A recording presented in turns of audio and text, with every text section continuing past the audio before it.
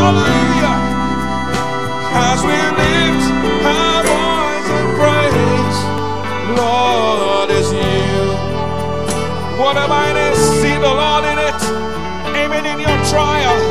Amen amen. See the Lord in it. Praise be to God. There is power in His name.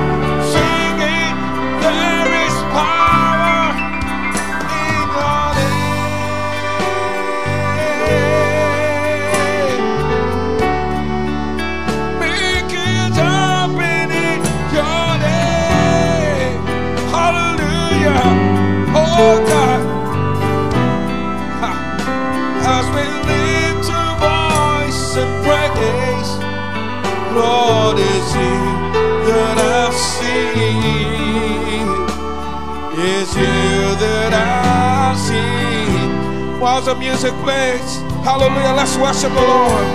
Hallelujah. Amen and amen. Glory to God. Amen. But the bottom told a story.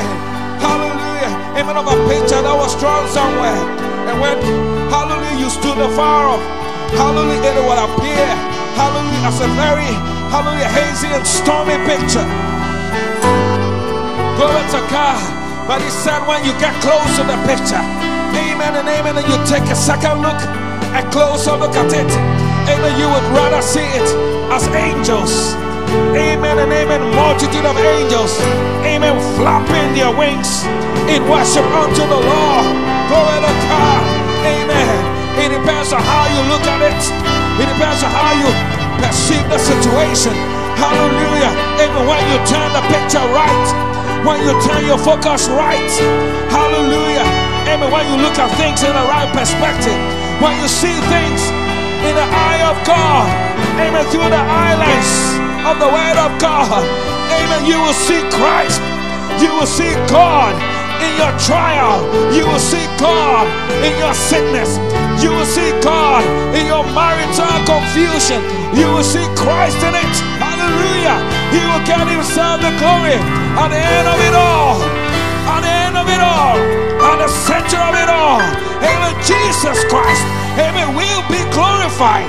Amen. Give him praise. Give him worship. Don't glorify Satan. No matter what it is. Confess your sins. Confess your wrongs. Lay before the Lord. Place it under the blood. Forget about it. Amen. And move on.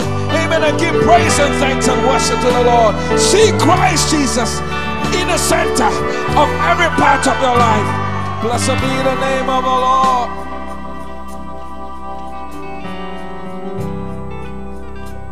At the center of it all you that I see. Is you that I see.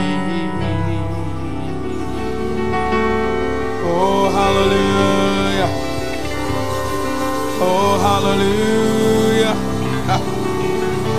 Hallelujah. Somebody, somebody give him praise.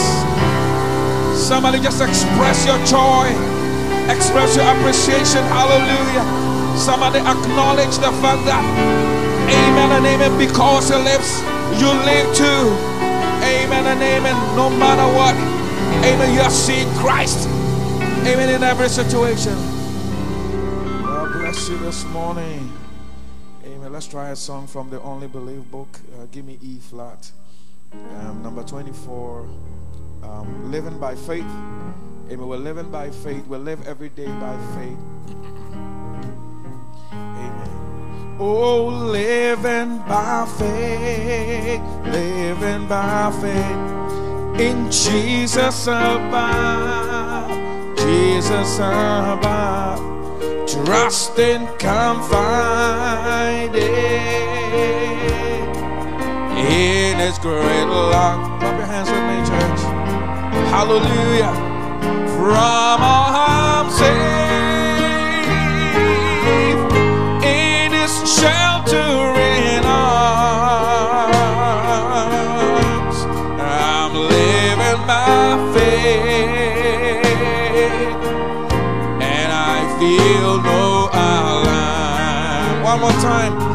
by faith Sing it. I'm living my faith. I'm living my faith in Jesus above. In Jesus above. I am trusting, confiding in His great love. Oh, hallelujah. From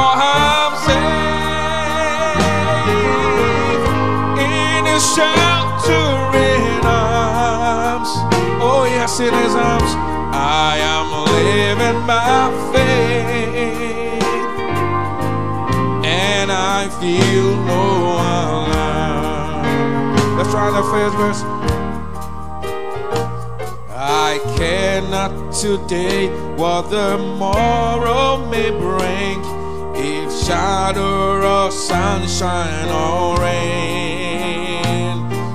Lord I know ruleth over everything, and all of my worry is vain. Sing it, I'm living by faith.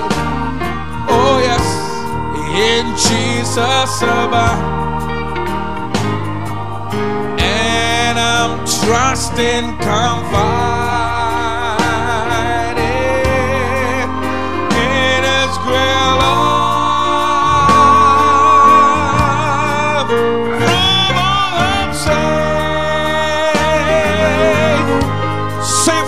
storm, safe from all attacks of the evil one. I'm living my faith.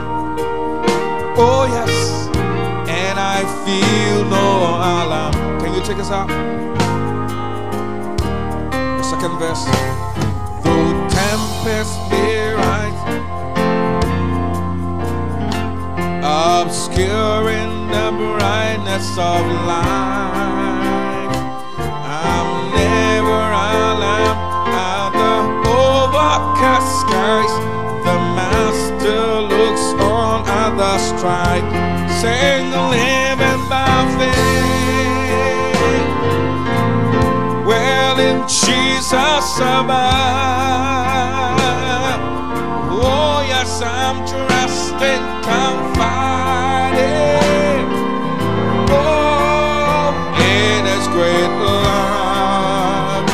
Sing me, church. Sing it from all I'm safe. In His sheltering arms. I am living by faith, and I feel no alarm. Let's the line. Our Lord will return to this earth some sweet day. Our troubles will then all be over. The Master so gently will lead us away beyond the blessed heavenly shore. Sing it, I'm living by faith.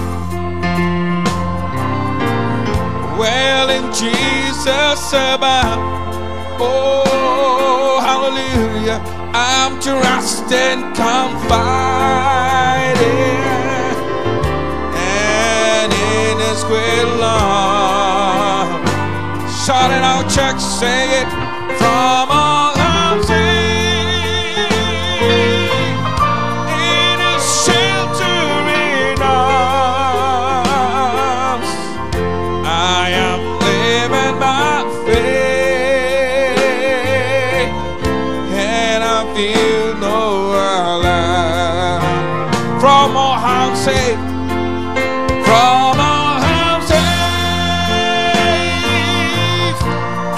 it is sheltering arms. I'm living by faith, and I feel no alarm.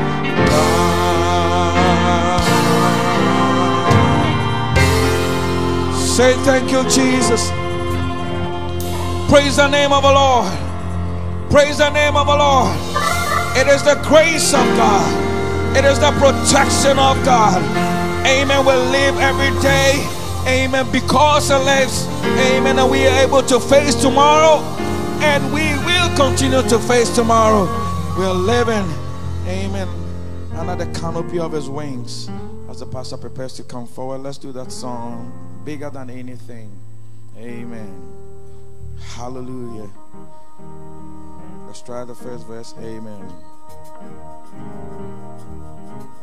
Bigger than all the shadows that falls across my path.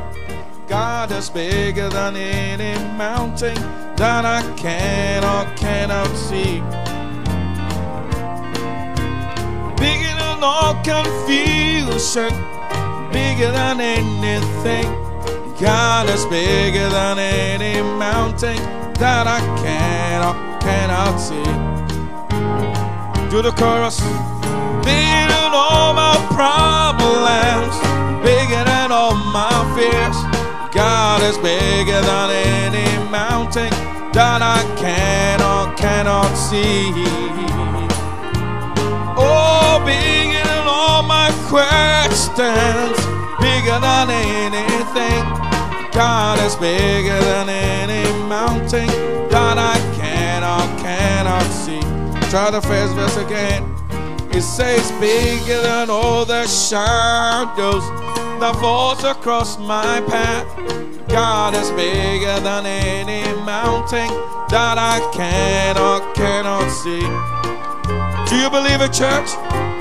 Bigger than all the confusion, bigger than anything. God is bigger than any mountain that I cannot, cannot see. Sing like you believe in Him. He is bigger than all my questions. He is bigger than all my fears. God is bigger than any mountain that I cannot, cannot see. Hallelujah. He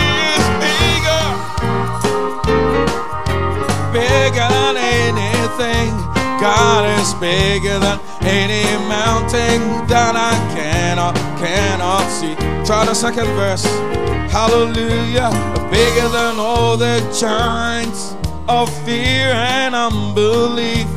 God is bigger than any mountain that I cannot, cannot see. Bigger than all my hands bigger than anything. God is bigger than any mountain that I cannot, cannot see. Oh, He is bigger. Oh, He is bigger than all my fears. God is bigger than any mountain that I cannot, cannot see. Hallelujah He is bigger than all my questions. It's bigger than anything. Oh, God is bigger than any mountain that I cannot, cannot see. God is bigger than any mountain. God is bigger than any mountain that I cannot, cannot see. Believe you serve a big God. You believe you serve a mighty God? Amen. No matter what confronts you, our God is bigger. Amen and amen than anything, than any mountain. God is bigger than any valley. Can the church say amen? Can the church say amen? God bless you. You can be seated. Amen. We have a video service today. The title is the 21st Century Gospel, which was preached last year, May, on the 10th of May, 2020. God bless you.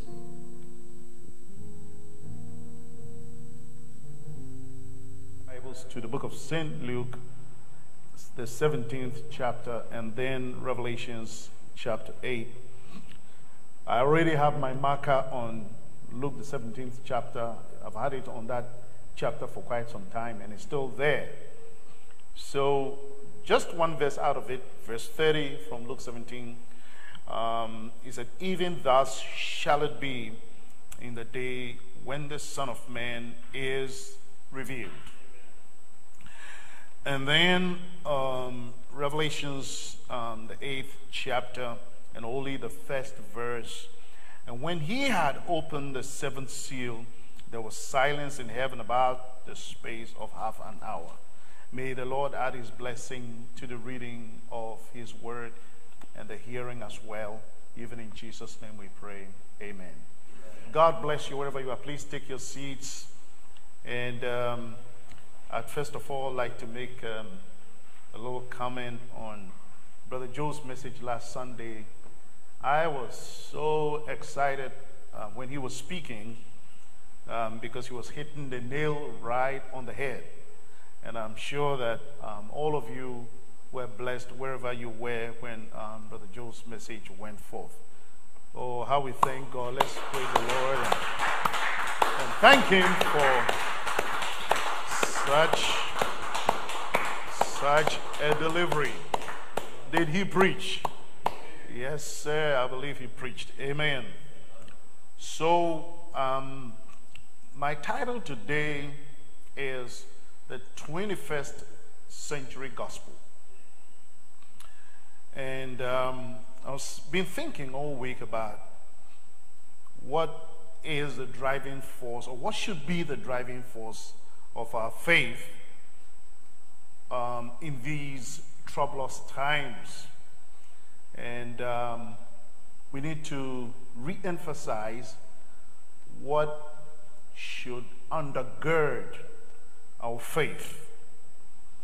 The first century believers had something that set them ablaze over against the great religious and political persecution that went on in their day. Something was their driving force. And so, in our age, in this 21st century that we are, there has to be something that is the driving force, something that can stand what is going on, the times in which we live, because what is in the world today is all the ages put together, is a culmination of all the evils that has gone on in the world down through the seven church ages. And so, question that I ask myself is Are we that generation that Brother Branham mentioned that he had wanted to see that generation that will receive the body change? Are we that generation? I'd like to read from Is This a Sign of the End, 1962, where he says, Where are we at, sirs? What's all of this about? he said um, the other angels was messengers, men of the earth. But this angel, this said to the angel of the church of Laodicea, to the angel of the church of Ephesus, messengers of the earth. All these seven churches, messengers, messengers of the earth, men, messengers, prophets, and so forth, to the church. But this one didn't come from the earth. The angel of Revelation 10 1, the mighty angel um, who had the rainbow around him. He come down from heaven because the mystery is all finished. And when the mystery is finished, the angel said, Time shall be no more. And seven thunders throwed their voices out. What if it is something to let us know how to enter into the rapturing faith? Is it? And so the coming down, the prophet is saying here that the coming down of this angel is supposed to trigger something. It's supposed to trigger how to enter into rapturing faith. Will we run and leap over walls? And I'm sure you know that this running and leaping over walls is not literal walls, but he's speaking about dimensional uh, uh, uh, uh leaping. We leap, jump from one dimension to the other. We'll be standing here, we'll not be here. Praise God. Is there something fixing to happen? And these old, marred, vile bodies are going to be changed? Can I live to see it? Oh Lord. Listen to him carefully. Oh my, can I live to see it? Is it so close that I'll see it? And I'm talking about this is like 57 years ago. Is this the generation? Praise the Lord. Says my brethren, what time is it? Where are we at? And so, um, are we that generation that the prophet was looking for? Are we the people? Is it that we've missed something? Praise the Lord. I believe we should wake up. We should wake up and then um, re emphasize what is the driving force of our faith in the face of what is happening in the world today. Praise the Lord. There's utter confusion in the world, and there's no clear path, there's no clear way um, that the people foresee in the immediate future. And so they're talking about recovery in two years' time and so on and so forth. Praise God. But we have a driving force. The standard that has been lifted in our age is so much higher than what is happening in the world today. That's the way God does it all the time. The standard He raises is much, much more greater in magnitude than what comes forth in the world. Praise the Lord. So today, um, I want to go back on uh, scriptures, which is um, Luke 17, and um, some of the scriptures that we've been, you know, occupied with for the past few days. Scriptures that pertain to our day, and our focus will be on Luke 17:30, and I believe it's a great mystery. Praise the Lord. The mystery there is inexhaustible. We will start, we'll never finish. Praise God. And you can preach on it over and over and over and over. Praise the Lord. But it's a great mystery. But I want us today to look a little bit at the immense significance of the background before these scriptures could come to fulfillment. There's a, a whole background to this thing. Praise God. And as I've always said, Luke 17:30 is a consummate scripture, but have we come to the full realization? Praise God. Because if we don't come to a realization of Luke 17:30, there cannot be rapturing condition.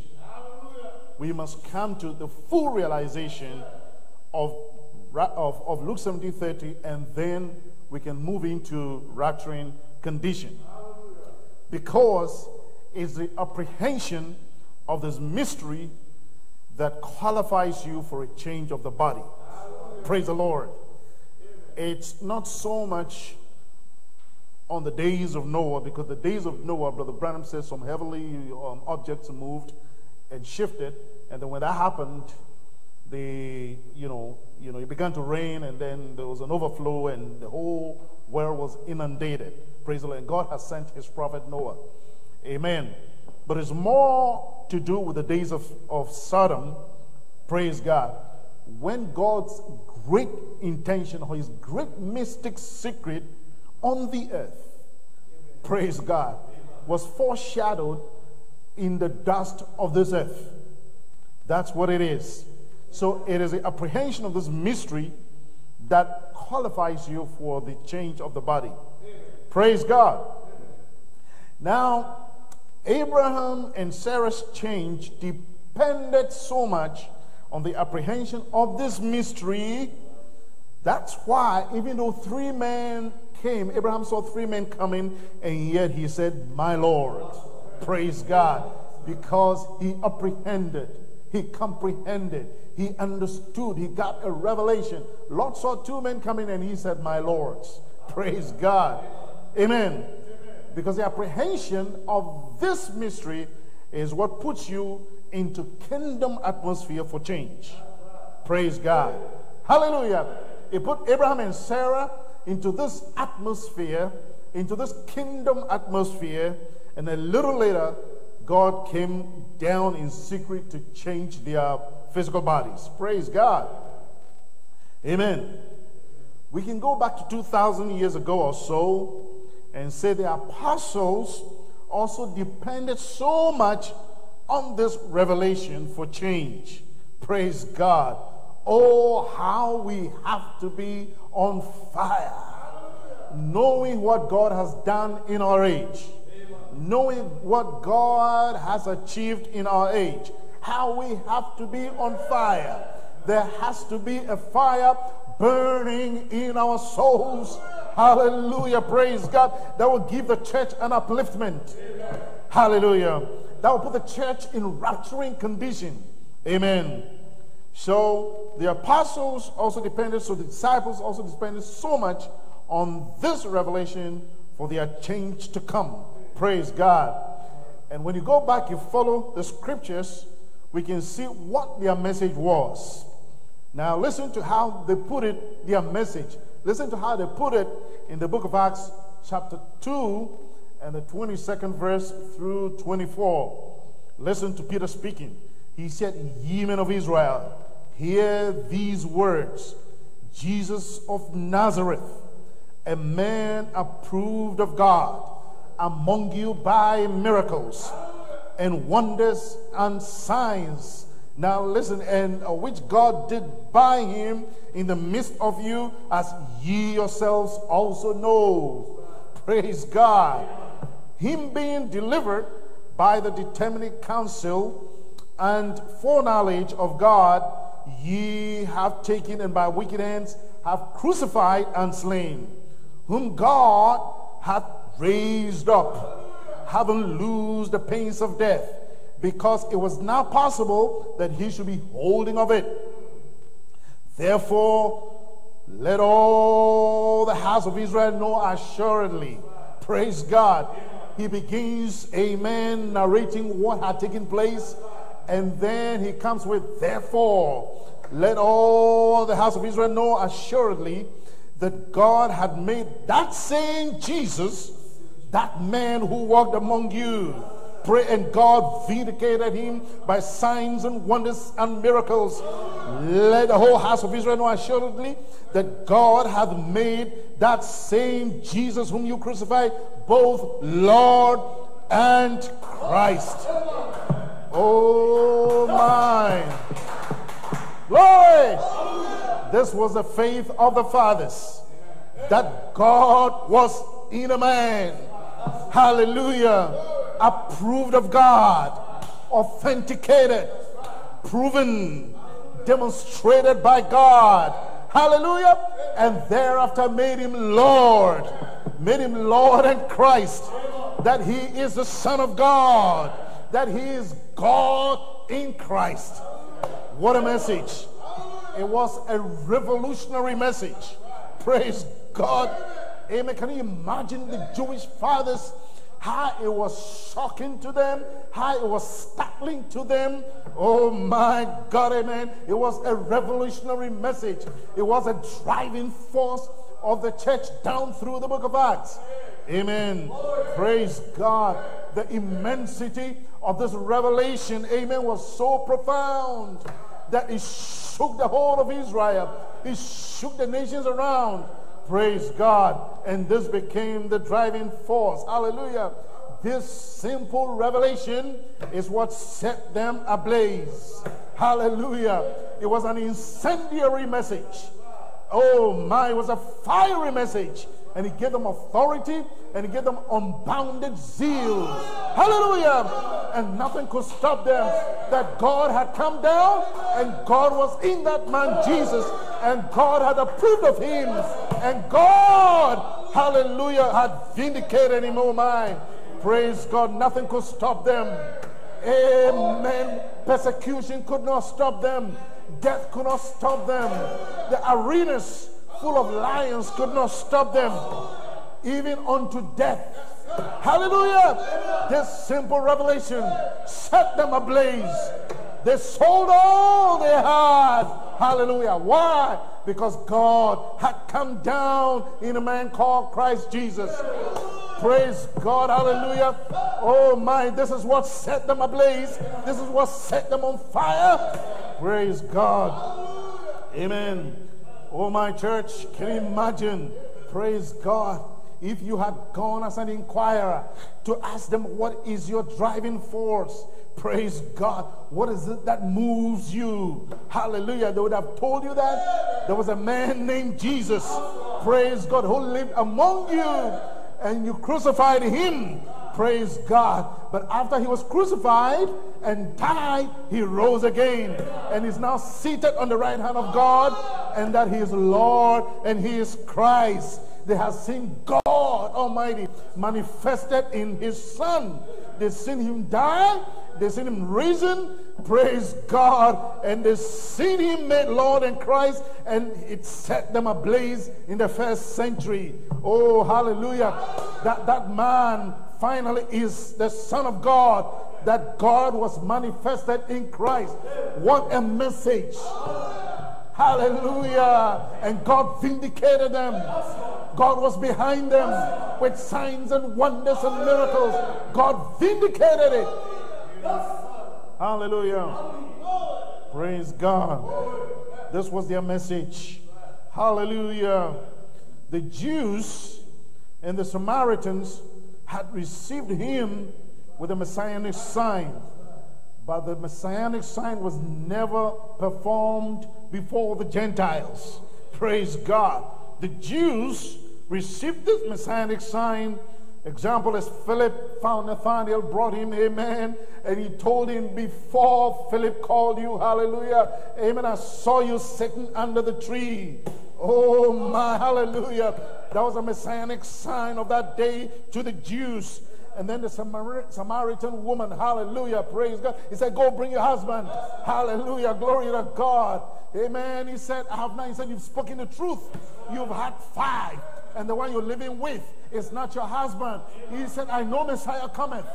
Hallelujah. And when he comes, he will show us the sign.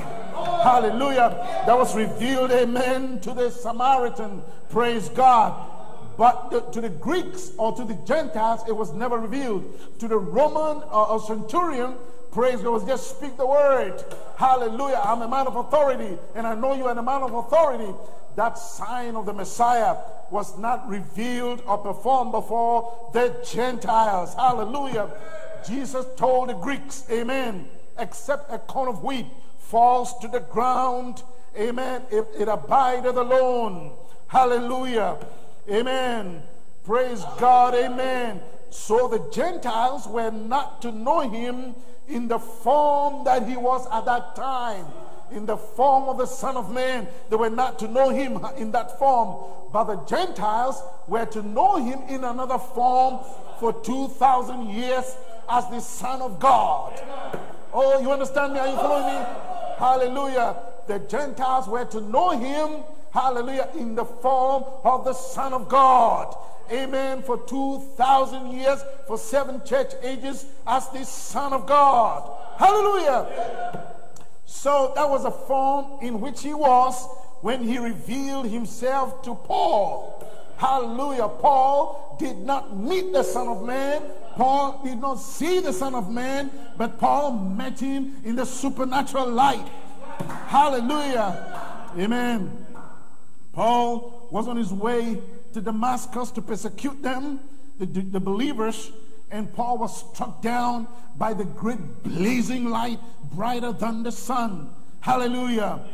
Amen. The light that shone on him, hallelujah, praise God, eventually began to shine in, in Paul. Hallelujah. Glory to God. Amen. Listen to him in Galatians 1:15. He said, But when it pleased God who separated me from my mother's womb and called me by his grace to reveal his son in me that I might preach him among the Gentiles, immediately I conferred not with flesh and blood to reveal his son in me. Praise God. Which son? Hallelujah. The Son of God. That blazing light, that supernatural light praise God, that struck him down, soon entered into Paul. And Paul had to reveal the Son of God to the people. Paul had to manifest the Son of God to the people. Praise God. Now, listen to Brother Branham on uh, Christ is a mystery of God revealed, 1963. Now listen, he said, Did you notice? Paul never knew Jesus physically. Paul never knew him. The only way that Paul knew him was by a revelation, by a vision. Is that right? Paul only knew Jesus by the revelation, just like Peter did. Peter, oh, might confess that thou art the Son of the living God. Peter has seen him in flesh, but he didn't know him by flesh because Jesus said so. Flesh and blood didn't reveal it to you. Even my own life didn't reveal it to you. But my Father, which is in heaven, has revealed a thing to you that He is the Word of God.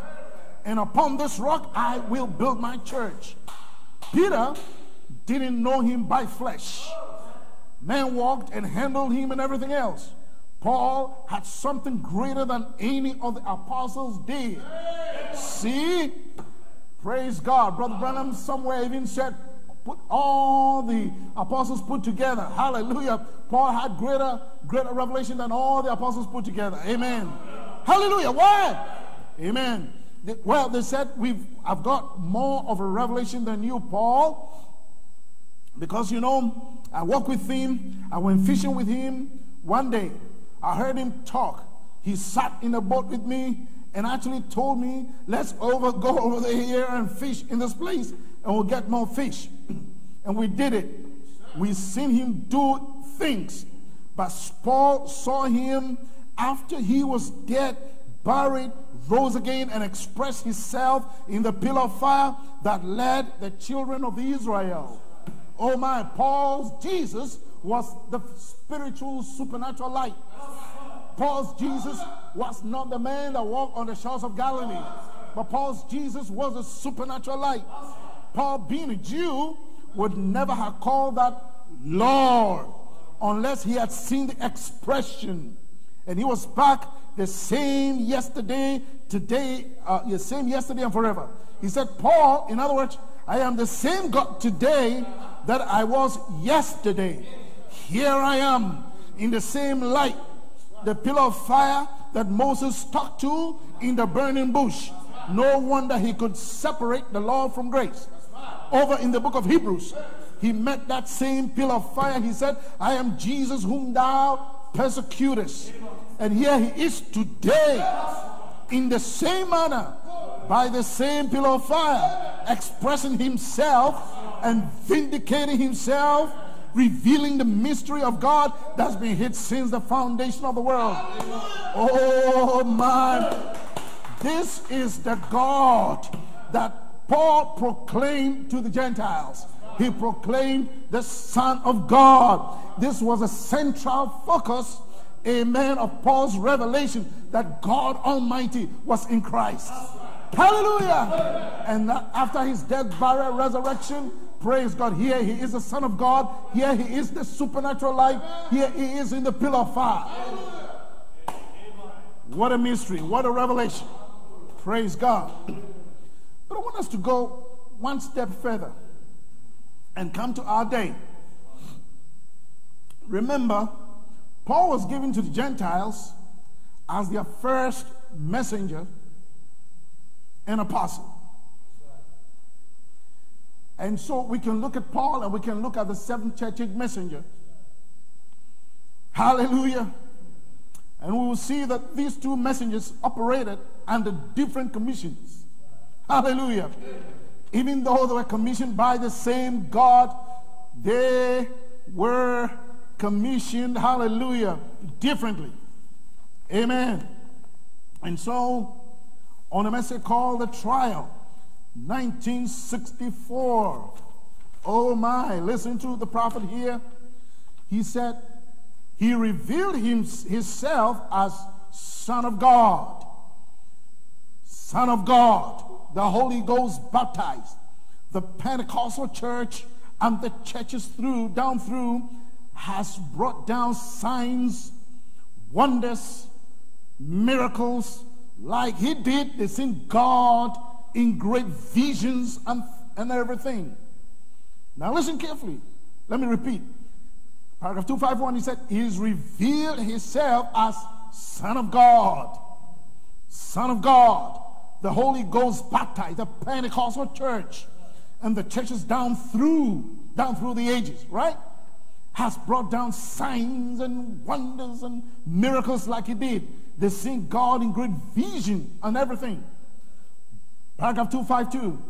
But never has the church, never has the church ever seen the Son of God manifested in human flesh that would reveal the thoughts that's in the heart till this age.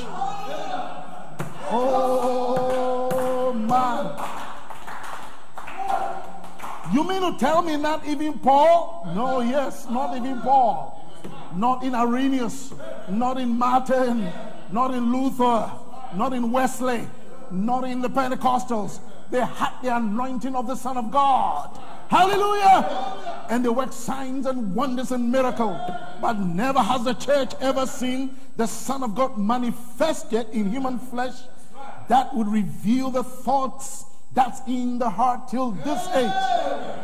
And that was the age that seen Sodom burn and the promised son return. How this revelation ought to put us on fire. Oh my. Praise God. Hallelujah. Yes, sir. Never has a church. Amen. Not even in Paul. Glory to God. So Paul operated under the power of the Son of God as his commission. Amen. But Malachi 4 was to operate under the commission of the Son of Man. That was his calling, that was his commission. Praise God. And so the difference between Paul and Malachi 4, the seventh church age messenger, is Luke 17 30. Do you see church? That's the difference between Paul and Malachi 4. Hallelujah. Is Luke 17 30. Praise God. Now let's get on with it. Luke 17 30 is specific and yet comprehensive. Hallelujah. Glory to God. Amen. Specific because it's to one man. Comprehensive because there's a whole background to it. Many things happen down through seven church ages before it all gathers up into Luke 17:30. Do you understand? And so recognition and comprehension of this is what qualifies you in this age for the marriage of the Lamb. Hallelujah! Glory to God, amen. Yes, sir. Now, let's look a little bit at Paul's ministry and what he preached in the first century. Amen. And I'll read a few scriptures, there are many more. When you go back, you can research on it. Hallelujah. Now, in Acts 8 36 through 37, this is what uh, is written there. And as they went out on their way, they came unto a certain water, and the eunuch, this is Philip, said, See, here is water. What doth hinder me to be baptized? And Philip said, If thou believest with all thine heart, thou mayest. And he answered and said, I believe that Jesus Christ is the Son of God. Hallelujah. That was the faith of the fathers. Amen. Then Acts chapter 9, verse 19 through 20. And when he had received meat, he was strengthened. Then was Saul certain days with the disciples which were at Damascus. Verse 20, and straightway he preached Christ in the synagogues that he is the Son of God. That was Paul's, amen, preaching. That was what he was focused upon. Then I'll give you another one, Second Corinthians chapter 1, verse 19 through 20. Amen. For the Son of God, Jesus Christ, who was preached among you by us, even by me. And Silvanus and Timotheus was not yea and nay, but in him was yea. For all the promises of God in him are yea, and in him amen, unto the glory of God by us. Amen. amen. Read another one, Galatians chapter 2, verse 20. I am crucified with Christ, nevertheless I live. Yet not I, but Christ liveth in me, and the life which I now live in the flesh I live by the faith of the Son of God who loved me and gave himself for me by the faith of the Son of God. Hallelujah. So you see, the emphasis was on the Son of God, the Son of God, the Son of God. Hallelujah. Romans 1, uh, verse 3 and 4, concerning his son Jesus Christ our Lord, which was made the seed of David according to the flesh, and declared to be the Son of God with power, according to the Spirit of holiness by the resurrection from the dead, declared to be what? The Son of God. Amen. Praise God. And even in Ephesians 4, praise God, where Paul was speaking about the fivefold ministry, praise God, he eventually brings the fivefold ministry to the knowledge of the Son of God, to catch a revelation, praise God, of the Son of God. Amen. That was the faith of the fathers. Amen. But you and I, in this age, we are supposed to come to the comprehension of the Son of Man. Hallelujah. Glory. The scriptures must meet scriptures. Praise God. And so Luke 17 30 is a great mystery and it has to do with the seventh seal. And I'm going to prove it to you that it has to do with the seventh seal. The prophet said so. Hallelujah. It's specific to one man. Praise God. So let's look at Psalm 7 seal mystery quotes. Hallelujah. Amen. Praise God. Amen. Now, Brother Branham said on Christ is a mystery.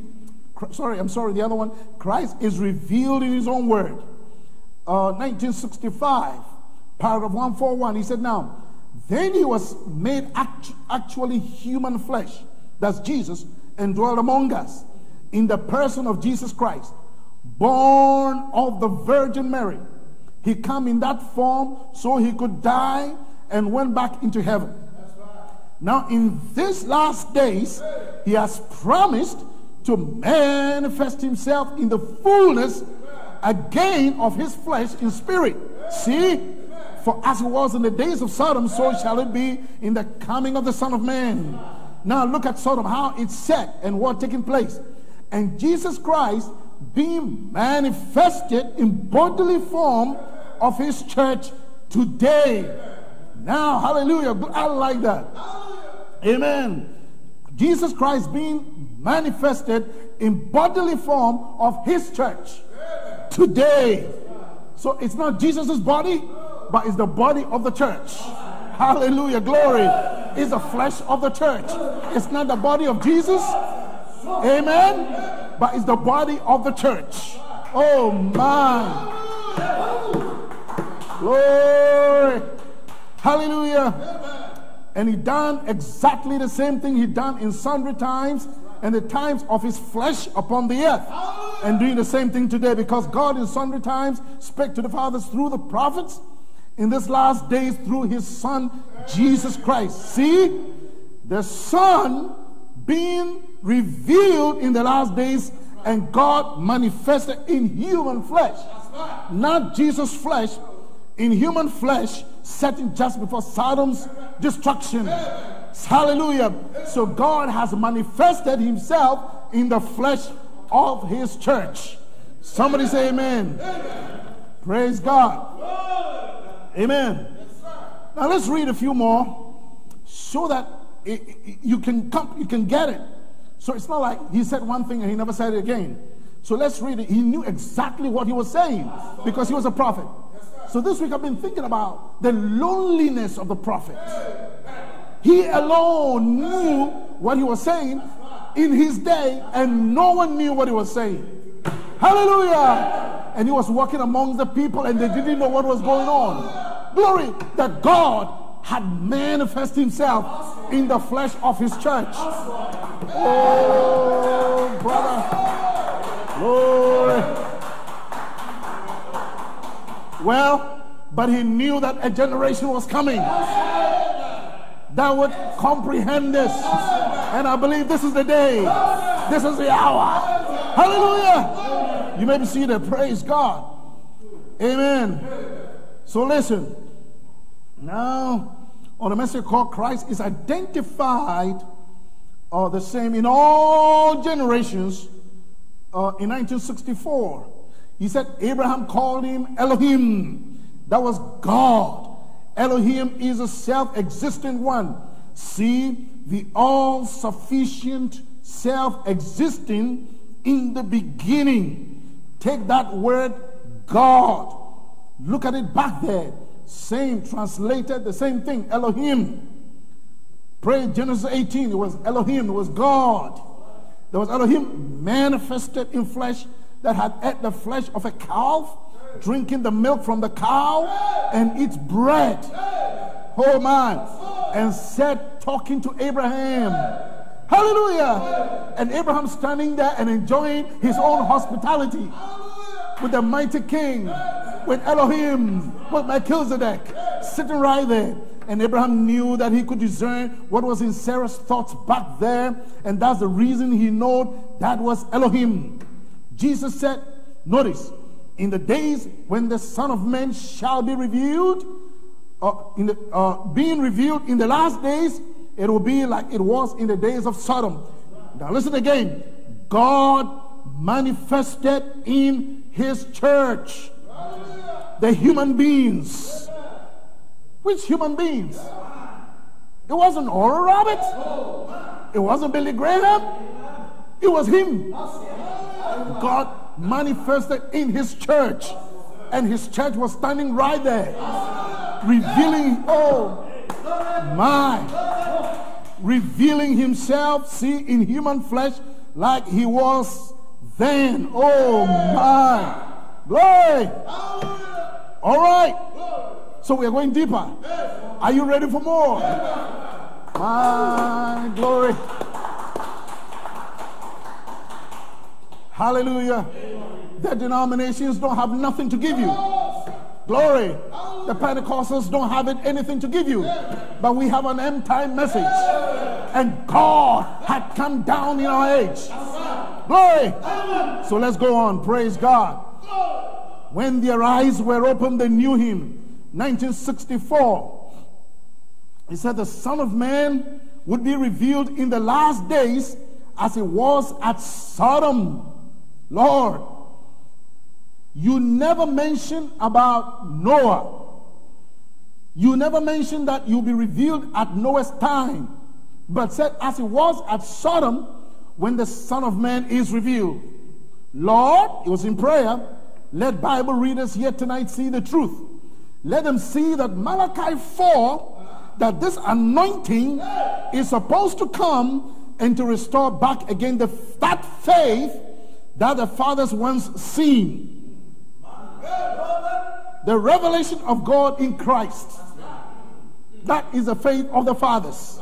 Praise God. But he didn't end there. He said, Let him see. Malachi 4 that this anointing is supposed to come and to restore back again that faith that the fathers once seen, the revelation of God in Christ. But he doesn't end there. Praise God. So Malachi 4 first is to take us back, restore us to the faith of the fathers, apostolic fathers. Amen. Peter, James, John, Paul. Hallelujah. Is to take us back to that. The faith of the fathers. Malachi 4 is supposed to do that. Praise God. And what was that revelation? God was in Christ. Now, listen, now, may they see the revelation of God in human beings. My. Which human beings? He's talking about the church. And the church was standing there himself. Hallelujah. Christ manifested in the flesh of his church walking among us. Hallelujah. Walking among us. Yes, he that was him. Standing there. Christ was in him. Just as God was in Christ. This is not Christ's body. This is not Jesus' physical body. Praise God. But God was in the flesh of his church. Lord. Amen. So this is the faith of the children. The revelation of God in Christ was the faith of the fathers. The revelation of Christ in his church is the faith of the children. Hallelujah. Glory. Praise God. Amen. Yes, sir. Do you see it? Are you following me? Yes, sir. So the faith of the fathers is a revelation of God in Christ. But the rapturing faith is a revelation of Christ in the flesh of his church. Hallelujah. This puts you under the anointing as he put Abraham and Sarah under that anointing of God in flesh. But this time, the flesh is his church. Oh my. Praise God. The faith of the fathers is a revelation of God in Christ. Rapturing faith is a revelation of Christ in the church. Hallelujah. That's why he said on a message of church age book, he said, uh, we all know it, page 327, that the messenger of Malachi 4 and Revelation 10 7, the messenger of 1 and 2 is going to do two things. According to Malachi 4, praise God, he will turn the house of the children to the fathers. You get it? Hallelujah. You turn them back to the faith of the fathers. And what is the faith of the fathers? The faith of the fathers was that God had come into Christ. Amen. Amen. Two, he will reveal the mysteries of the seven thunders in Revelation 10, which are the revelations contained in the seven seals. It will be these divinely revealed mystery truths that literally turn the hearts of the children to the Pentecostal fathers. Hallelujah. And so our anointing and our power will be under this ministry, will be under the commission of the Son of Man. Hallelujah. Glory to God. Amen. Praise God. So the church, amen, has displayed Christ in fullness to the public. Christ displayed God Almighty in fullness to the public. And that was the faith of the fathers. But in our age, Christ had been displayed, had been manifested in fullness in his church to the public. Hallelujah. Oh my. Okay. Now we're going to see how the seventh seal is connected to this. We're going to see. Praise God. We're going to see it. So on the seventh seal, the prophet said when the seals bro- the seventh seal broke, he said no angels singing, no praises, no altar service, no nothing. There was silence, hush, deadly silence in heaven for a half hour. But the host of heaven was silent for this half hour. My, when this seventh seal mystery in the book of redemption was broke open, think of it, but it's broke. The lamb breaks it. You know what? They were all by it. They were in a state of shock. It's like you just can't fathom the greatness, the immensity of this mystery. Hallelujah, glory. They didn't know it. I believe they didn't know it. There it was. They just stopped. Why? Why? What is it? Mine. As we go on, he says, and now, as certain as I stand in the platform tonight, tonight, I had the revelation that revealed. It's a threefold manner that I'll speak to you by God's help of a fold of it and let go over the first here is a revelation to begin. I want to tell you what it is. What happens is that those seven thunders that you heard thunder and was forbidden to write, that's what the mystery is laying behind those seven consecutive thunders rolling out. Man. He said it's a threefold manner. Praise God. now, paragraph five, uh, page, uh, page 564, the old one, the old version. He said, and in Sabino Canyon, he said, this is the third pole. That this great hidden mystery, which was broke open in heaven, which made all the angels hush, which made the angels awed by it, which put the angels in shock for the space of half an hour, had to do with the man here on the earth. Oh my! Hey! Wait! He said, This is the third pool. And there's three great things that goes with the three. and one unfolded today or yesterday, yesterday, the other one unfolded today, and there's one thing that I cannot interpret because it's an unknown language. Praise God. Amen. What is that third thing? We'll find out what it is. But I, I was standing right there and looked right straight at it, and this is the third pool coming up. And the Holy Spirit of God, oh my, that's the reason all heaven was silent. It had to do with one man standing here.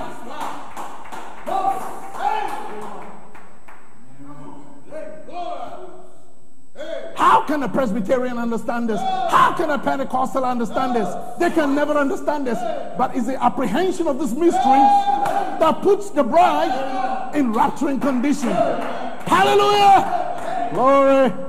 Praise God. Amen. Yes, sir. Now, my, my third quote from, from the 17th says, Now, there is a whole earth to be purged. There will be um, such a thing that the moon uh, and all they shall be purged. Let me go on to the next uh, paragraph. He said, Now, do you notice on the opening of the seventh seal, it's also in a threefold mystery. He said, This one I have will speak and have spoke. That is a mystery of the seven thunders the seven thunders in heaven will unfold this mystery. It'll be right at the coming of Christ because Christ said no one knew when he would return. Do you get the connection? Hallelujah.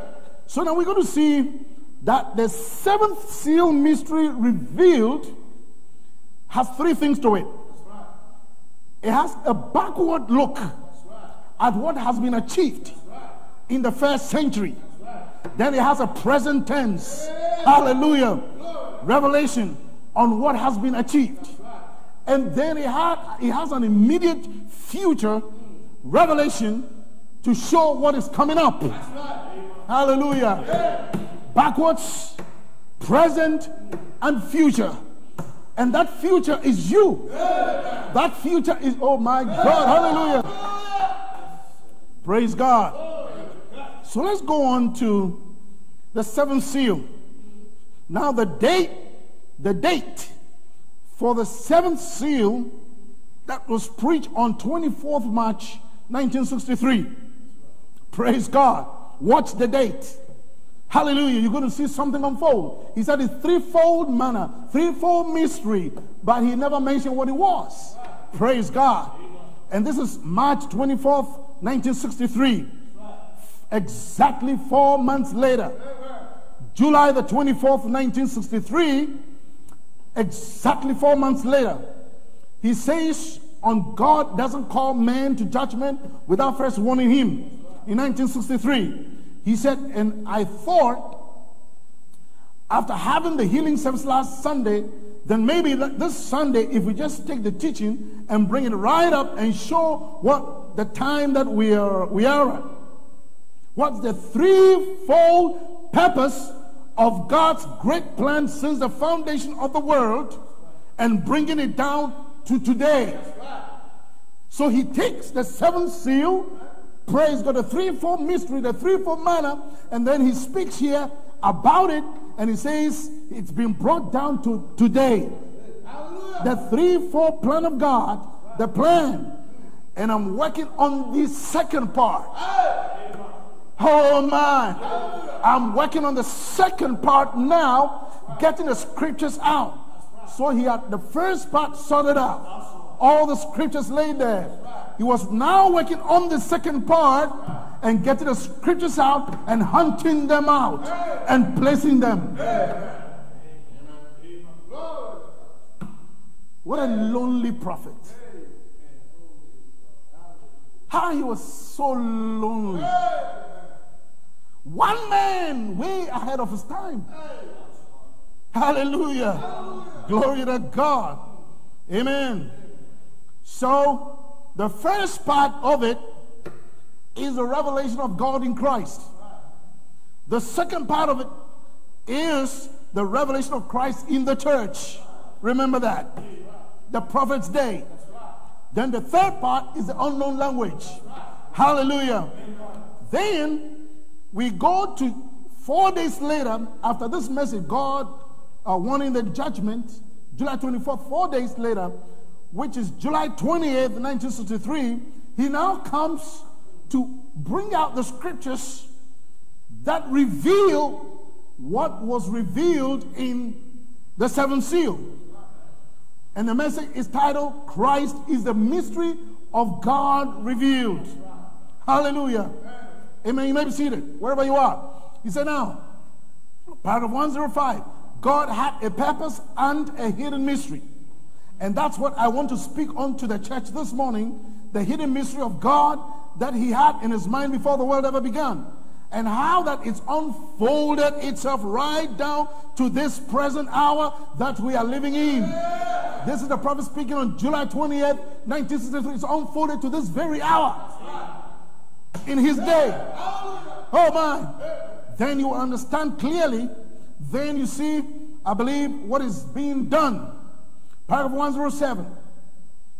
He has showed or revealed it in every type that's in the Bible. Therefore, the entire Bible is the revelation of God's mystery in Christ.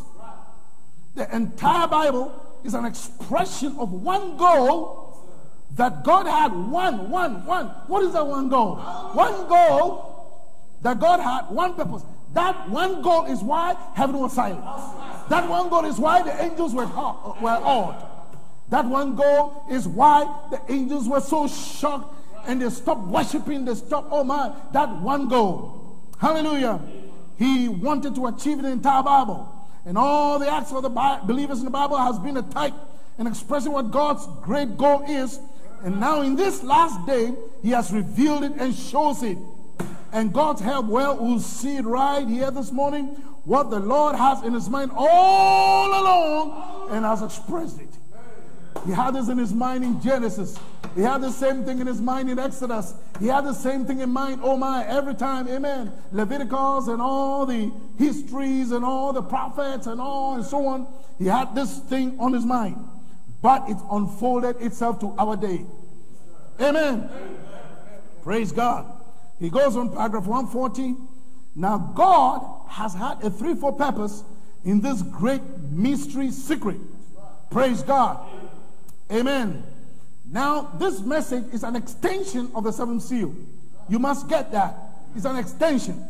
Notice, God has had a threefold purpose in this great mystery secret. God, in his great mystery secret that he had before the world began, he has got a threefold purpose in it.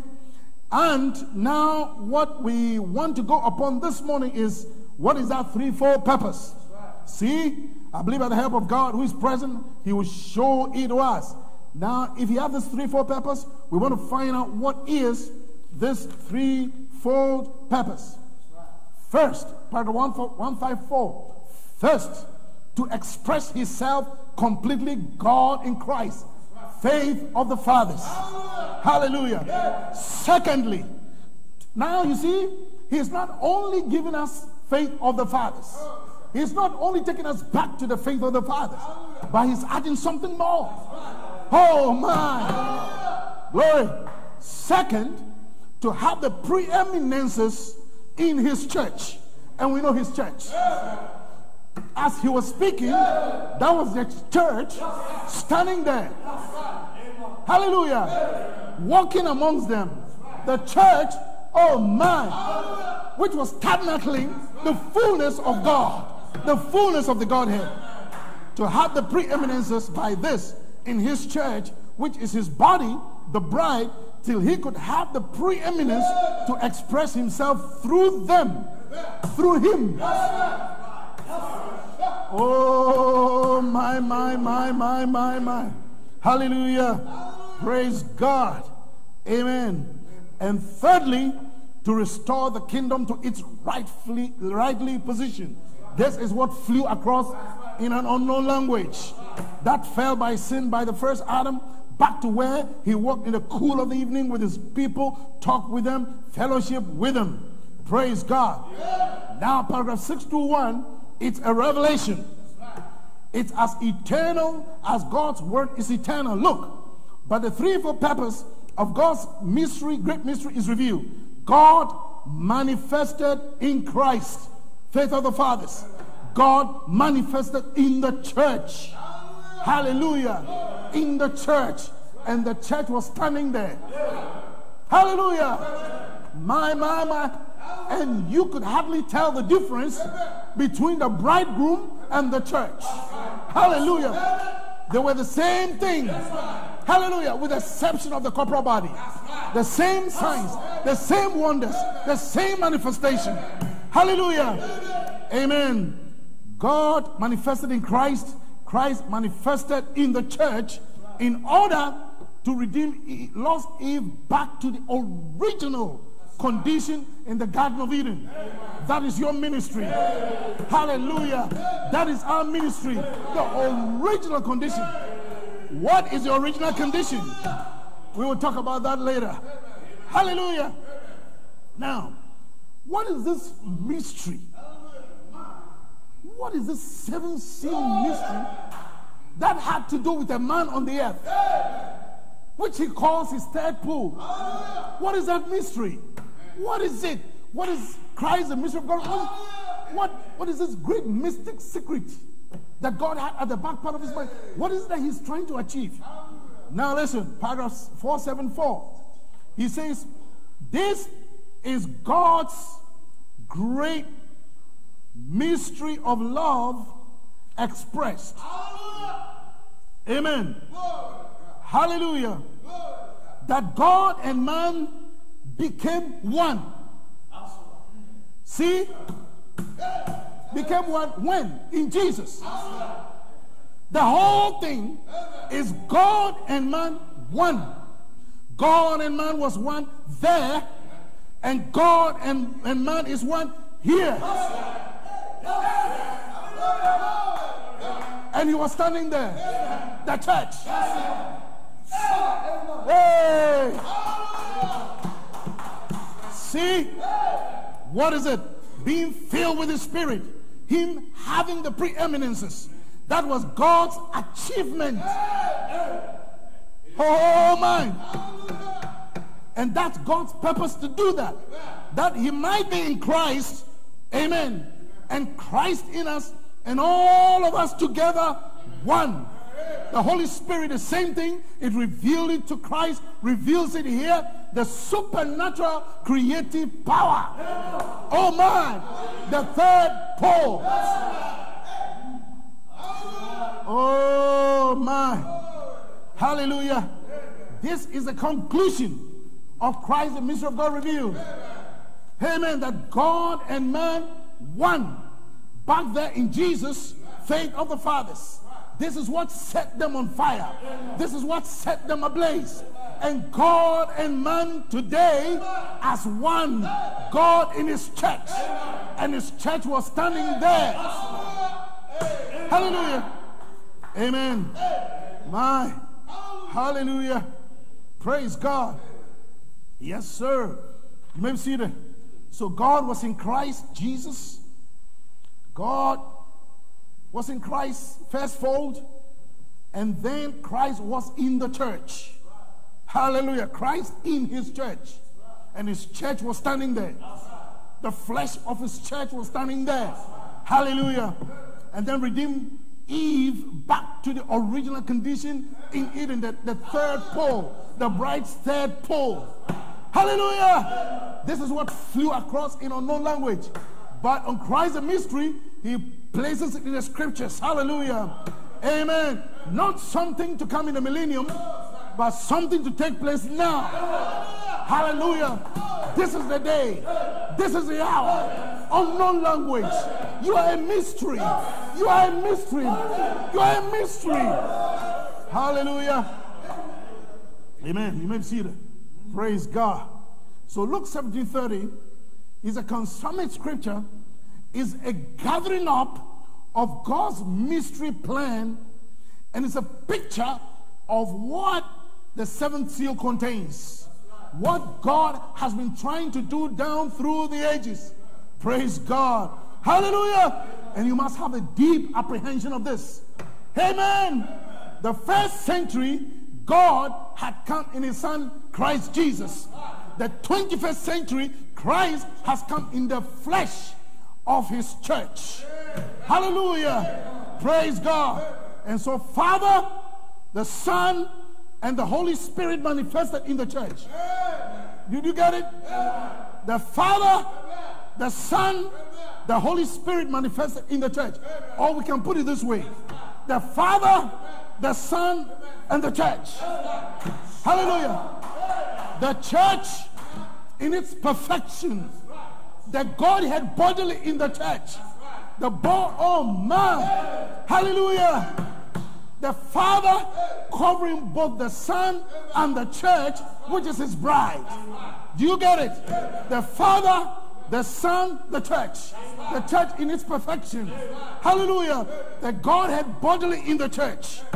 Praise God. This is an upliftment. He takes the church and he puts the church into the Godhead as part of the Godhead. Hallelujah. By the baptism of the Holy Ghost, by the Holy Ghost itself. Oh my. Praise God. Yes, sir. Now listen. The super sign, 1963, paragraph 105.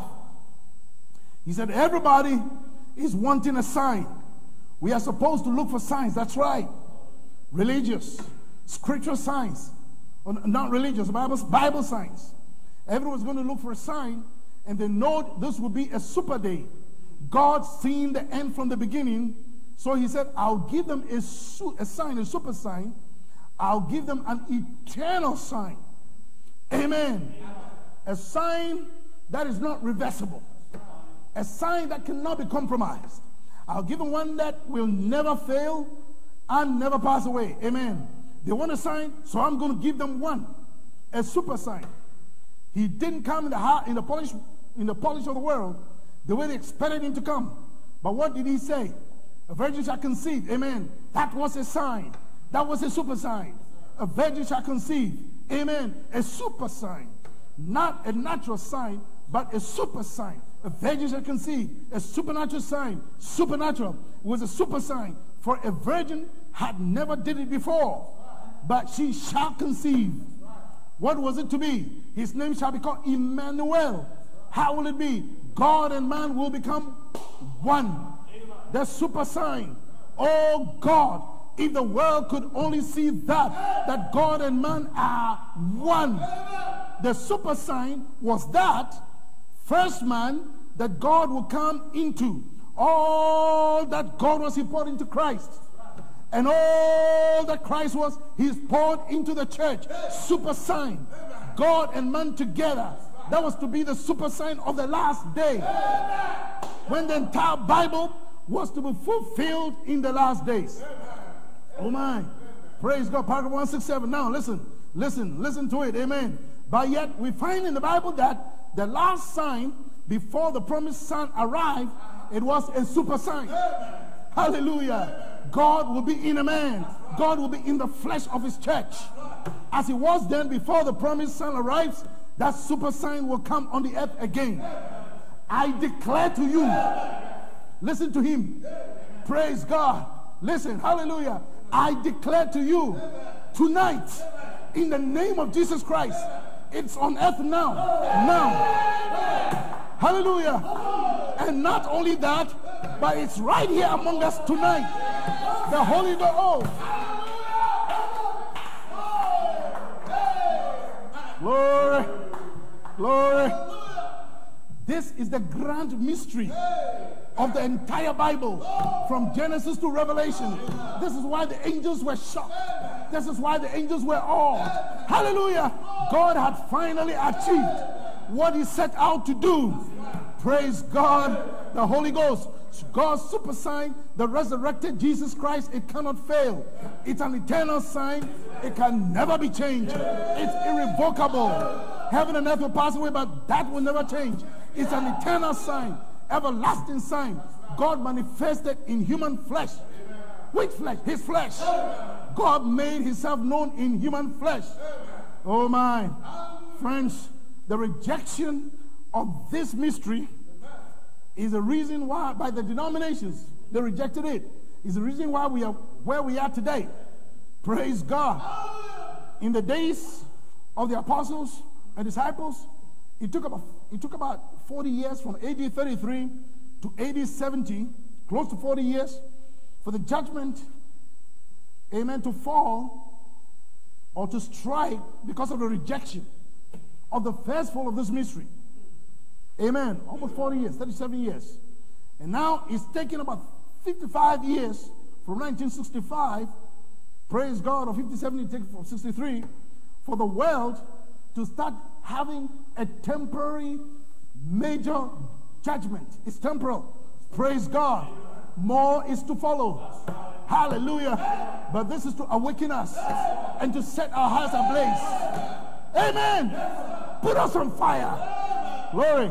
Now you may be seated. By, let me give you three points here.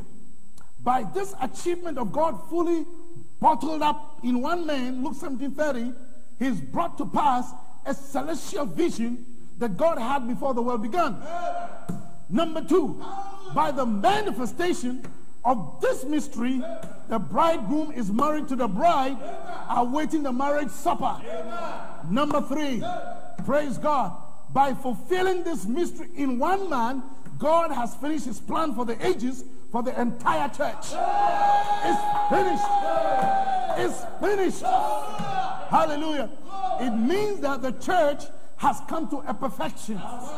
It means that a mission has been accomplished. A mission that God embarked upon has been accomplished.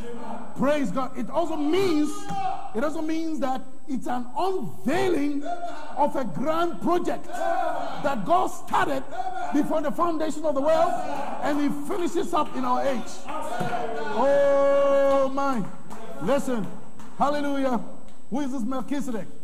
Paragraph 42. Notice. Like the sculptor, he hides with a mask over it. That's what God has done to this age. It's been hid. All these things have been hid. And it's supposed to be revealed in this age. Now the Bible says that will be they'll be revealed in the latter times. It's like a sculptor keeping his piece of work all covered up until the time he takes the mask off of it, and there it is. And that's what the Bible has been. It's been a work of God has been covered up and it's been hid since the foundation of the world and it's sevenfold mystery. And God promised in this day, at the age of this Laodicea church, he would take the mask off of the whole thing. Amen. And we could see it. What a glorious thing. Paragraph 43. God and Morphe masked in the pillar of fire. God and Morphe in a man called Jesus. Hallelujah. Faith of the fathers. God and Morphe in his church. He's not talking about the general church. He's not talking about Oral Roberts. He's not talking about, amen, Billy Graham and uh, Tommy Osborn. He's talking about his ministry. He's talking about himself. His body was the body of the church. Oh, hallelujah. Amen. God with us, God in us. The condescending of God. There, up there, holy, no one could touch him. He settled upon the mountain, even a animal touch, the mountain had to die. And then God come down and change his tent and come down and live with us, become one of us. And we beheld him, the Bible said, 1 Timothy 3.16, without controversy, great is the mystery of godliness, for God was manifested in the flesh, handled with hands. God ate meat, God drank water, God slept, God cried. He was one of us beautifully typed in the Bible. That was God above us, God with us. Now, today, today, today, as he was speaking now, it's God in us, the Holy Spirit. Not the third person, the same person. The same God, hallelujah, that appeared to Abraham was standing there to Abraham. The same God that appeared to the disciples, amen, in their day. The same God standing here in our day, fully manifested in the body of his church. Praise God. Amen. There's always a one man ministry. Mystery. There's always a one man mystery. The Bible says that by one man, Adam, sin entered into every man. By one man, that's a one man mystery. By one man, Jesus, the free gift of grace passed on to many. By one man, John, on the Isle of Patmos, an entire bride was represented. By one man, Elijah, on Mount Transfiguration, the raptured saints are represented. By one man, Moses, on Transfiguration Mountain, the resurrection saints are represented.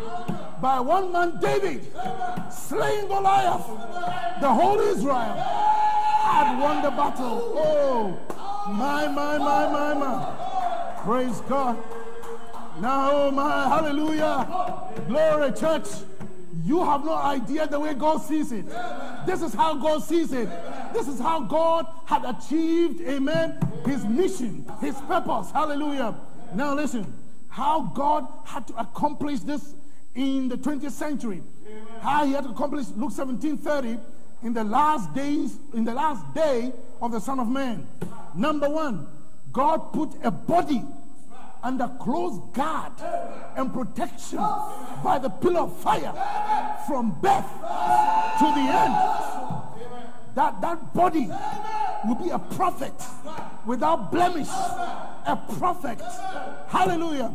Number two, God put that body under a Nazarite vow not to drink, not to smoke, or live immorally. You and I have not been given that. Praise God. Amen. Hallelujah. You and I were not given that. But this body had to be preserved. This body had to be protected because God was going to use it to bring to pass Luke 17 30, which is the mystic secret of God. Amen. So he picked up a gun to shoot himself.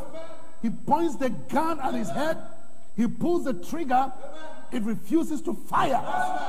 Hallelujah. But when he throws it on the ground, it fires. Hallelujah.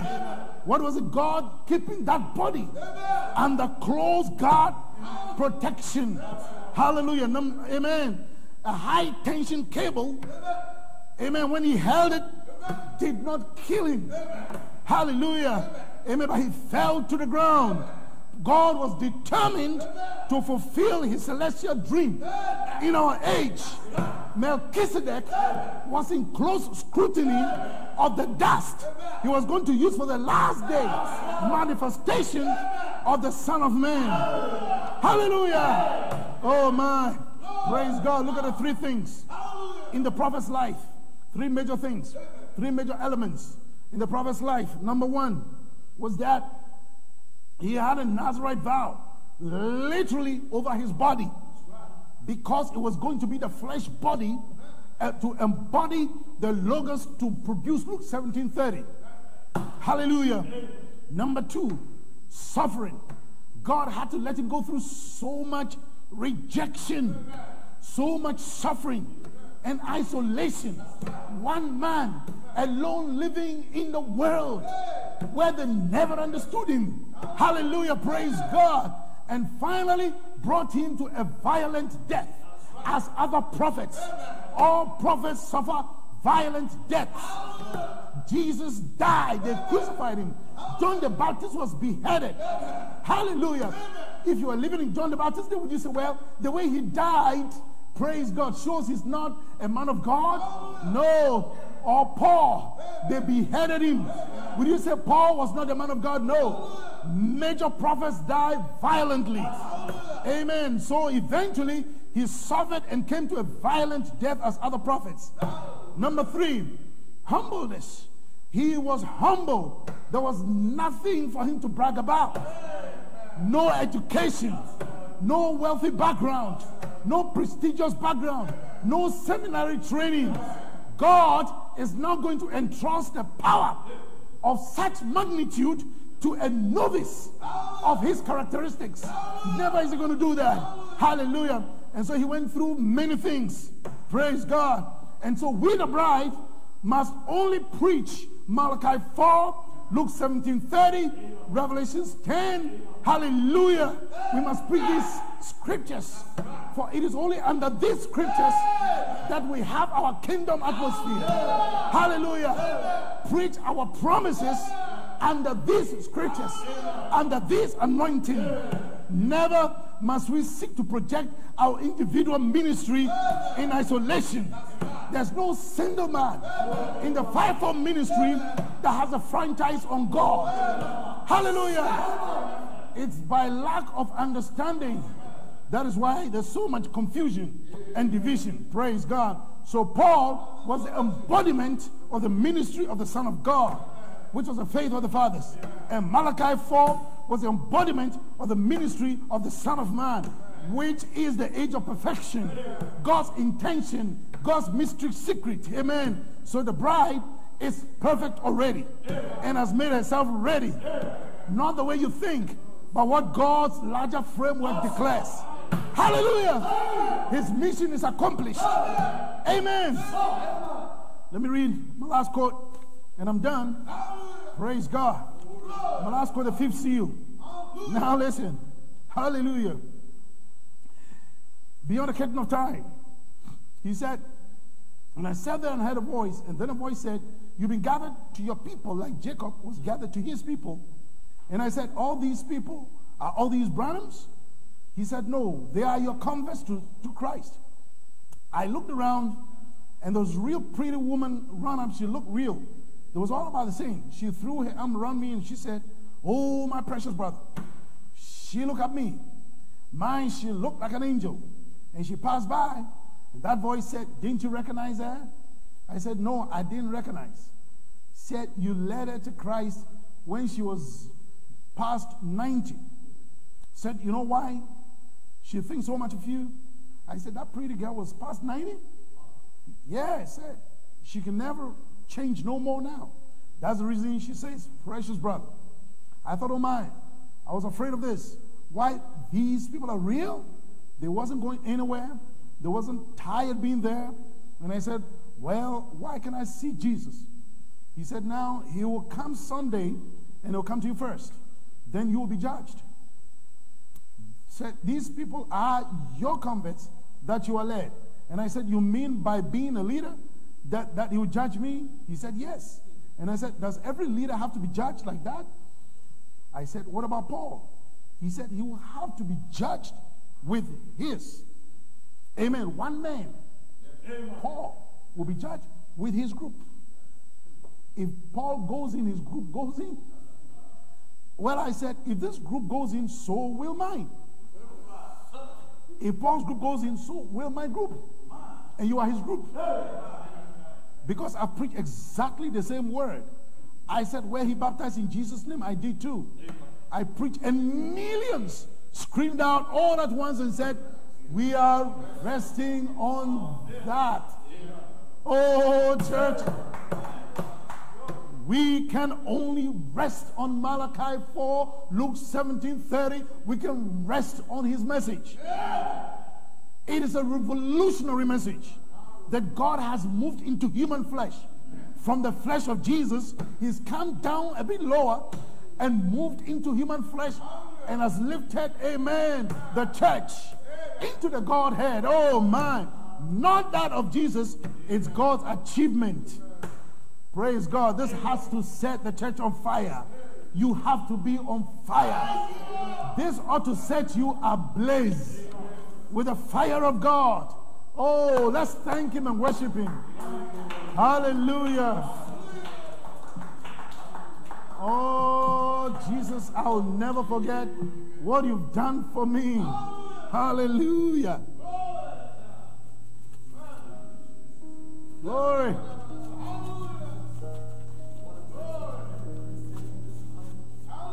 Jesus, I'll never forget what you've done for me. My, my. Well, Jesus, I'll never forget what you've done for me. Jesus, I'll never forget how you set me free. Well, Jesus, I'll never forget how you brought me out. Oh, Jesus, I'll never forget. No, never. Oh, Jesus, I'll never forget what you've done for me. Well, Jesus, I'll never forget how you set me My church, free. you know what? Glory. This place is too small for me to dance. Hallelujah. But wherever you are, rejoice. Hallelujah. God has accomplished his mission. You have already made it. Praise God. Amen. By one man mystery. One man mystery. Praise God. Paul's group goes in. Malachi Paul's group groups go, is, goes in. So we already made it. The- that's why there was a preview of the bride. He saw the bride already. Hallelujah. So we are marching. Amen. Oh my, what a what a what a wonderful thing it is. What a glorious mystery. Praise God. Oh, Jesus, I'll never forget. what you've done for me. Jesus, I'll never forget how you set me free. Oh, Jesus, I'll never forget how you brought me out. Jesus, I'll never forget, no, never. Oh, Jesus, I'll never forget what you've done for me. Well, Jesus, I'll never forget how you set me free. Jesus, I'll never forget how you brought me out. Jesus, I'll never forget, no, never. Well, he brought me out of the miry clay. He set my feet on the rock to stay. He'll never forget what you've done for me. Oh my Jesus, I'll never forget how you said. Clap your hands, church. Let's give him praise. Where how you brought. Oh my Jesus, I'll never forget. No, never. Hallelujah. Sing it, Jesus. I'll never forget what you've done for me. Oh my Jesus, I'll never forget how you set me free. Jesus, I'll never forget how you brought me out. Oh my Jesus, I'll never forget. No, never. What shall I say unto the Lord? All I have to say is thank you, Lord. Sing it, church. What shall I say unto the Lord? All I have to say is thank you, Lord. Sing it, thank you, Lord. Come on, church. Let's give God thanks and praises. Amen for this end time message. Amen for sending us this Elijah prophet. Thank you, Lord. Oh, my thank you, Lord. All I had to say, hallelujah. Well, what shall I say? What shall I say unto the Lord? All I had to say. Say? What shall I say the Lord? All I have to say is thank you, Lord. Thank you, Lord. Well, thank you, Lord. Well, all I have to say, ah, say thank you,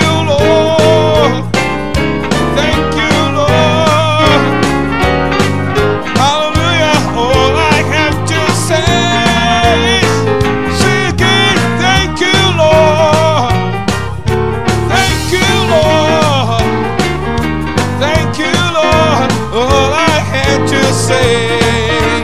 Let's do it one more time. What shall I say? What shall I say unto the Lord?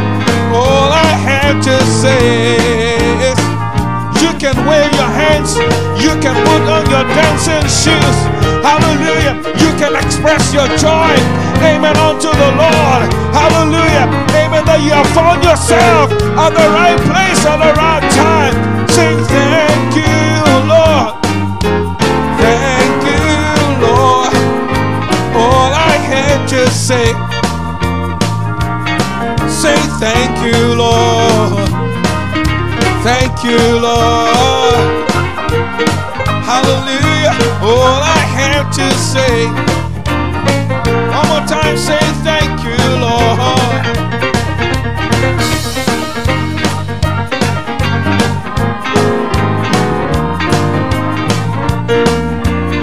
That's almost song, almost song. That is going to be.